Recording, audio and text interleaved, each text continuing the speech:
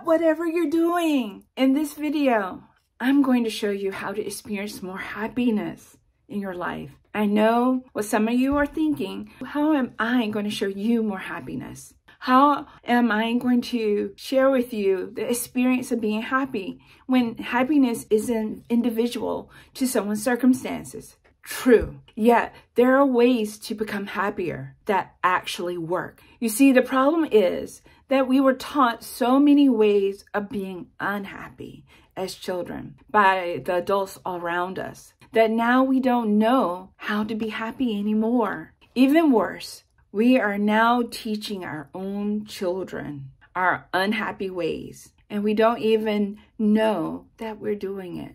You see, the problem is that our lives are so busy with things that we say we have to do that we have no time to do the things that bring us joy and happiness. And many of us have no idea that we have lost touch with and no longer even know what bring us brings us happiness at all. I certainly understand how this could happen. I had learned so many patterns of a behavior that did not serve me and brought me unhappiness and misery that by the time I was an adult, I had also lost touch completely with the things that brought me happiness and joy. And I was a very busy person that on the outside looked happy. But inside, I was so very sad and lonely and miserable. So miserable that one friend of mine gave me that advice that I should write over and over again repeatedly,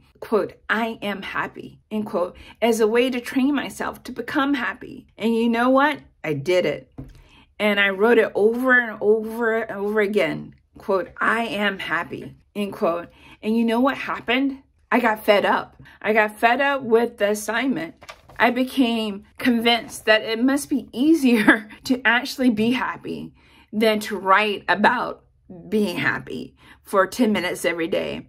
I am happy and for it not to be true. So don't worry. What I will share with you today is not like that strategy at all. There are actual things that you can do right now that will increase your level of happiness so that you can experience happiness right away. By making a few simple changes in the way you think, you can bring more happiness into your life. So I'm sure some of you out there may be wondering and thinking, who is this lady? And why does she think she can help me be happiness when I've tried so many things for so long that have not worked? Well, I'm really glad that you are asking this question because my name is Dr. Jessica K. Hairston. I am a medical doctor. I am a psychiatrist. I am also a child psychiatrist, uh, double board certified that has been practicing medicine for over 20 years. And I teach people empathy as a skill. So, what is so special about empathy? You may say. Well, I have learned through decades of clinical practice of medicine and psychiatry that empathy is the single most important ingredient slash skill in one's life that can bring you solace during the times of being in your worst moods and when you are in the valleys of your life. And when you practice empathy for yourself, you get to experience a deep sense of connection you get to connect with your inner self, and that can uh, bring you great happiness and joy.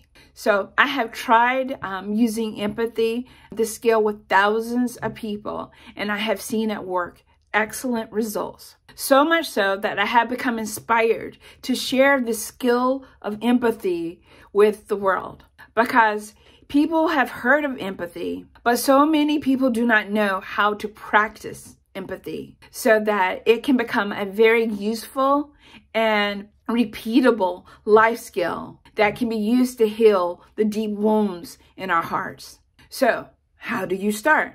Well, there are three basic concepts that you can learn to start practicing empathy today and start your journey toward a happier, more fulfilling, and successful life. And I will share with you these three basic concepts so you can get started right away. How does that sound? I hope like music to your ears. I really hope so. So the first concept, concept number one is your feelings are indicators from within yourself that can tell you whether or not your core needs are getting met or not. So many of us have been taught as children to dismiss our feelings, but then we set them aside and push our feelings and thoughts, our feelings to the back corners and recesses of our mind so that we don't experience them. Yet we need our feelings to experience happiness and joy. And without access to our feelings, we become deadened to the joys and wonders and memorable moments of life. All those things that used to be alive in us as children, we lock away. So now, not only do we need our feelings, we need to use our feelings productively to guide us to our happiness. So concept number one is that our feelings are very valuable indicators from within us that tell us whether or not our needs are being met. So concept number two builds upon this. Concept number two is that when our needs are not met, we experience dissatisfaction and pain. However, when our needs are met, we experience great satisfaction. And that satisfaction leads to contentment. And greater satisfaction leads to happiness. So before we can become happy, it is necessary for our needs to be satisfied. So how do we become satisfied? We become satisfied when we begin to meet our needs. This is concept number two, learning to meet our needs. Concept number three, it is really important one, which also builds on one and two. And that concept number three is our feelings are different than our thoughts. Have you ever thought about that?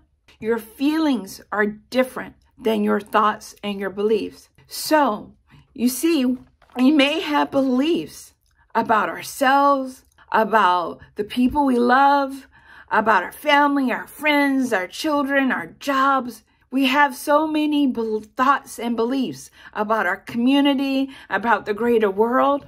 Yet, none of these beliefs or thoughts are actually our feelings. They're not indicators of what will satisfy us at all. Our feelings are those indicators. That's concept number one. So with concept number three, we learned that our thoughts and feelings are different. So we have been taught to believe that what we think is also how we feel. And that's not true. So that somehow or other that they're the same and they're actually not the same at all. You see, our thoughts can tell us a certain story that's actually not true and it's not connected to the way we're feeling at all. See, let me explain that our fe- that our feelings are different from our thoughts that generate it. And what we focus on grows. And so when we focus on our thoughts, then we do not actually address our feelings. And if we do not address our feelings, then we're not addressing our needs. So let me give you an example. You see, I can have thoughts about how others see me and view me in the world. And that will, these sets of thoughts will develop a belief. So I can have a belief, you know, I can have a belief that John doesn't really like me and has never liked me anyway. That's a pretty negative thought. However, if I keep thinking this thought, not only will I think that John doesn't like me and hasn't never liked me, I will also begin to spread that thought to other parts of my world. Uh, and it becomes a belief. So then I can start thinking that, you know what, Jill never liked me either. And so if I begin to think these thoughts, I can convince myself that these thoughts are true when they're actually not at all. And if I start thinking that these thoughts are true, because these are really miserable and negative thoughts, then my worldview, my perspective on life becomes more and more negative, and I become more and more convinced that what I'm thinking may be true. And so then I develop and internalize a negative opinion of myself, I internalize, I would be internalizing a negative opinion of John and a negative opinion of Jill, and things get negative pretty quickly. You see how this happened? I'm sure you haven't done that, but I know many people who do. So bear with me because we're going to get to the good part. The thing is, if we focus on the thoughts, then we just focus on what we're thinking over and over, and we don't actually investigate what our actually feelings are.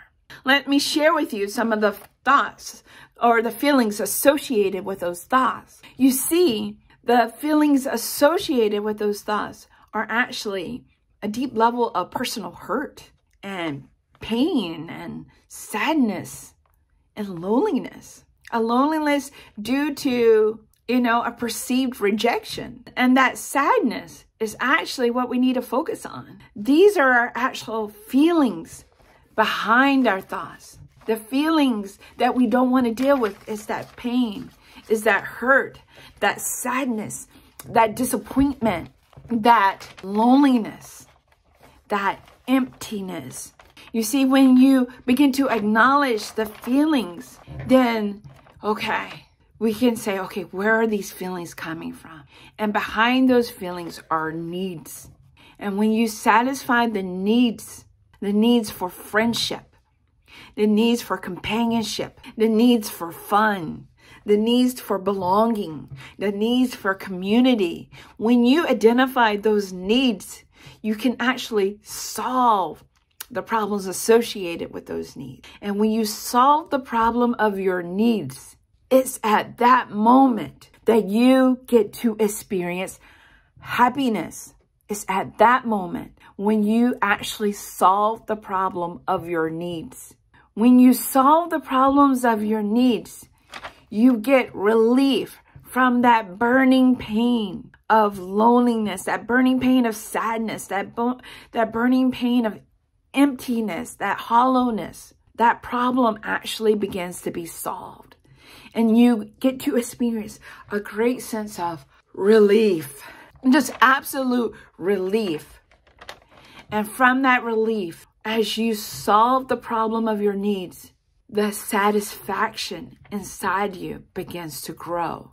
And from that feeling of satisfaction and contentment, the next step is happiness because your needs are being met, your problems are being solved, and you get to experience true happiness because you're connecting with yourself. And eventually, you'll get to connect with the people who are helping you solve your problems. It is an amazing experience that I really would like to share with you all because it just takes years and years and years of weight off your shoulders. You see, these problems of your needs, for some of you, they were solved to some degree as childhood, and many of you not. So this is where we need to go in adulthood, how to solve that problem of our needs.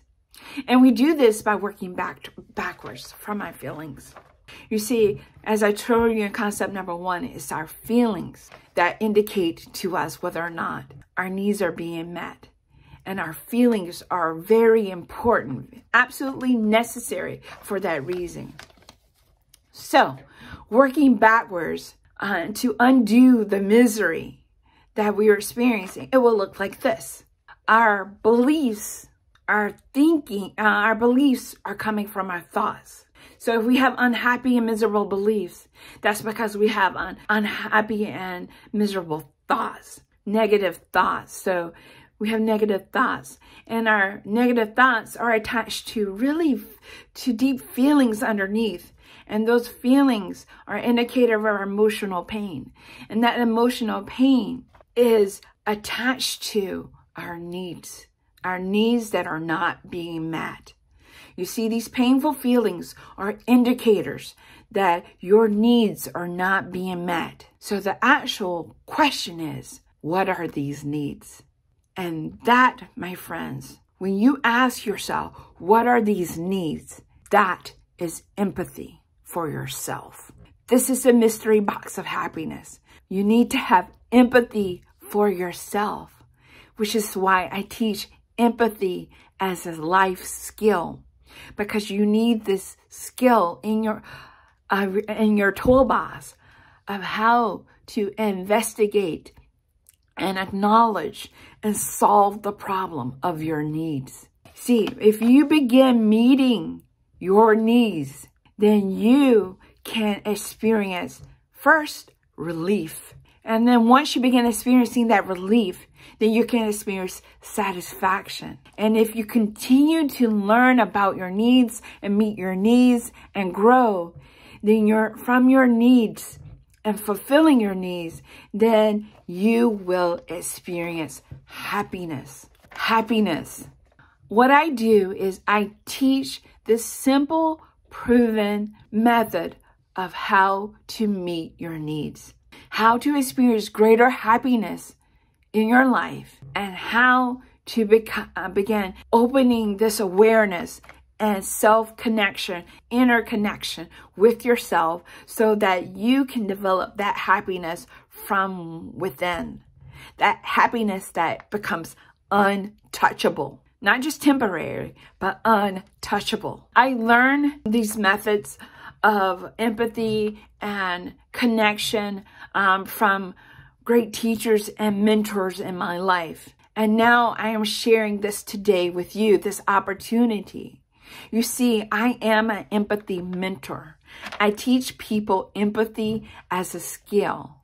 And I would be more than happy to share with you and to teach you step by step by step the secrets to becoming happy. If what I'm sharing with you right now generates any type of desire to know more and to learn more and to experience more happiness in your life, then right now, take a moment and click the link below. Click the link below and join an empathy community where in that community, I go in and I teach and I give, uh, I offer videos, video after video after video each week that shares with you step by step how to increase your happiness, how to meet your needs, how to meet your needs associated with health, how to meet your needs associated with happiness, and how to meet your needs associated with wealth building. You see, these three go hand in hand. These videos each week will share with you tips, strategies, methods, and ways of connecting with yourself so you can experience greater joy and happiness. Be sure to click the link below. Don't wait for any other moment. Don't wait for any other time because now is the time for you to actually access more and more happiness in your life. This is your season. This is the period of life that is meant for you to grow as a person. Because as you develop as a person, as you develop, then you will have more impact and more the impact that you want in the lives of your family and your friends and your businesses and your job. You will become more fulfilled. And a happier you and a healthier you makes a better you for this world. So don't wait any longer. It's okay. We can get you past the procrastination. Just click the link below. These videos, in these videos, you will see each week how I share with you the process of becoming happier step by step by step. This, um, this community, this membership, becoming a member of this community, you click this link, you go to Patreon, there are free videos, but the more in-depth learning are in monthly subscription. And that subscription is for a small fee. Right now, the minimum is $7 a month. If you can do more, there's more available for you. So this is affordable. The videos are short, five to 10 minutes. So you do have time. It does work. I've seen it. I've done it. I lived it.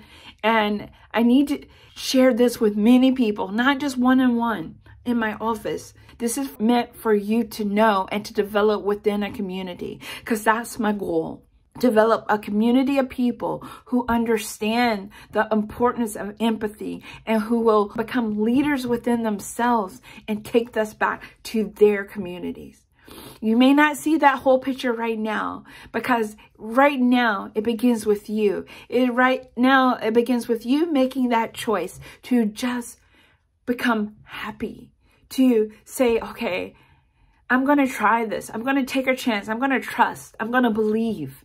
I'm going to, I need relief from whatever it is that's oppressing me right now. I need relief from it and I'm ready to be relieved of it. I'm ready for this burden to be lifted. So I entreat you, I implore you to click the link below, to take this step towards your own happiness. Really, this is meant for you. Right now, this is meant for you. So if you would like access to these strategies, if you would like to create more happiness and health and wealth in your life, then ultimately there's only one thing to do is to click that link below and make the most of this opportunity that is being offered to you right now. Because what you want in your life can be yours. And if you have the key to happiness, then you are unlocking everything else in your life. I thank you for your time. I thank you for becoming a part of this global empathy community just by clicking the link below. Thank you.